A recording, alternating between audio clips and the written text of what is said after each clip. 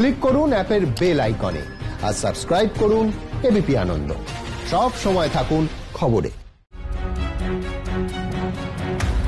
টেনে হিঁচড়ে গাড়িতে তোলা হচ্ছে মৃতদেহ। পচা গলা দেহগুলির গলায় আঁকশি গেঁথে এক এক করে টেনে তোলা হচ্ছে গাড়িতে।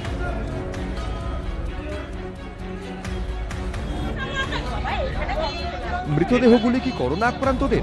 এ নিয়ে ব্যাপক উত্তেজনা গড়িয়া শ্মশান চত্বরে। ভাইরাল ভিডিও ঘিরে চাঞ্চল্য। শ্মশানের সামনে বিক্ষোভ স্থানীয়দের। স্থানীয় সূত্রে দাবি বুধবার গড়িয়া শ্মশানে বেশ কয়েকটি মৃতদেহ সৎকারের জন্য নিয়ে যাওয়া হয়। এলাকাবাসীর অভিযোগ মৃতদেহগুলি করোনা আক্রান্তদের। এ নিয়ে উত্তপ্ত হয়ে ওঠে এলাকা। বডি বলছে। কতগুলো? মানে তেরো চোদ্দোটা। তো আমাদের ধারণা করোনা বডি বলছে। ঠিক আছে? তো বডিগুলোকে আমরা সবাই মিলে বাধা দিয়ে ফেরত পাঠিয়ে দিয়েছি। স্থানীয় বাসিন্দাদের বাধায় শেষমেশ সৎকার না করেই ফিরিয়ে নিয়ে যাওয়া হয় মৃতদেহগুলি। খবর পেয়ে ঘটনাস্থলে পৌঁছন কলকাতা পুরসভার ওই ওয়ার্ডের কোঅর্ডিনেটর তথা সিপিএম নেতা চয়ন ভট্টাচার্য। একটা বডি, একটা চুল্লি। এই রেশিওতে যখন কোরিয়া শাসনের দাহ হয়, সেখানে সাধারণ মানুষের যে সার্ভিস, যেটা বার্নিং ঘরে তারা পান, সেটা পাবেন কি করে? এক গাদা তেরোটা রাশ যদি একসঙ্গে এই দুটো চুল্লিতে, একটা দিকে চুল্লি আটকানো থাকে, ওরকম দুর্গন্ধ সাধারণ মানুষের যে এই সৎকারের কাজ, সেটা তো বন্ধ হয়ে যাবে। এইগুলো তো সাধারণ বুদ্ধি তো থাকা উচিত স্বাস্থ্য দপ্তরের। আমি বুঝতে পারছি না, আমার সঙ্গে আলোচনা করা হয়নি। এখানে দশ বারোটা বডিও প্রবলি এসেছিল। এবার পরিস্থিতি কি? এনারা ভাবছিল এটা, এলাকার লোক ভাবছিল এটা করোনার বডি কিন্তু করোনার বডি নয়, ওনাদের হয়তো একটু ভুল ধারণা আছে, কেউ কেউ ওনাদেরকে উস্কিয়েছে হয়তো।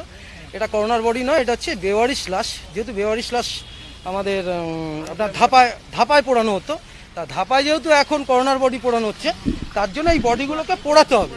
তা পোড়ানোর জন্য আমাদের রাজ্য সরকার থেকে মানে কর্পোরেশন থেকে দুটো শ্মশান অ্যালটমেন্ট হয়েছিল গড়িয়া শ্মশান আর নিমতলা শ্মশান। তো সেই অনুযায়ী কিছু বডি এখানে আনা হয়েছিল। নন্দীগ্রামে সিপিএম লাশ চুরি করেছিল।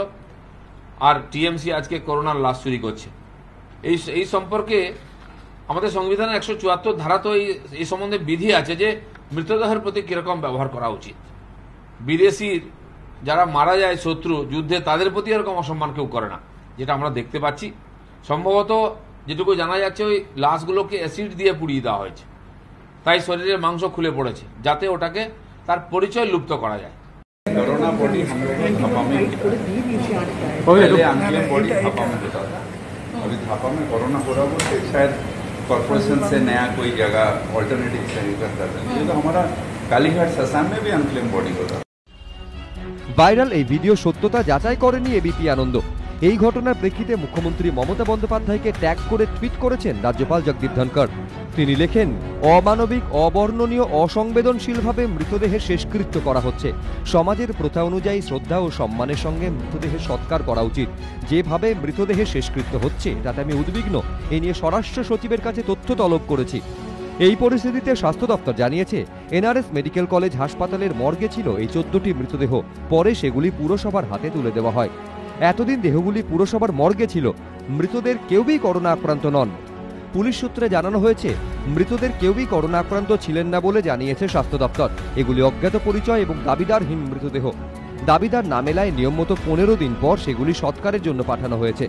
পুরসভা সূত্রে খবর, গত উনত্রিশে মে একটি নির্দেশিকা জারি হয়। সেখানে বলা হয়, দাবিদারহীন মৃতদেহগুলি গড়িয়া মহাশ্মশানে সৎকার করা হবে। পরে ফের টুইট করেন রাজ্যপাল। তিনি লিখেছেন, স্বরাষ্ট্র সচিবের জবাব মিলেছে। মৌখিকভাবে স্বীকার করেছেন, মৃতদেহগুলি যেভাবে টেনে নিয়ে যাওয়া হয়েছে তা ঠিক হয়নি এবং প্রতিশ্রুতি দিয়েছেন, এই প্রক্রিয়ার সংশোধন করা হবে। এবিপি আনন্দ।